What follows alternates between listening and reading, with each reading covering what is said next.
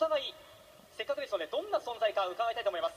まずは柳田選手石川選手どんな存在でしょう？いやもうチームのエースですし中心選手なのですごい頼りにしてます。はい。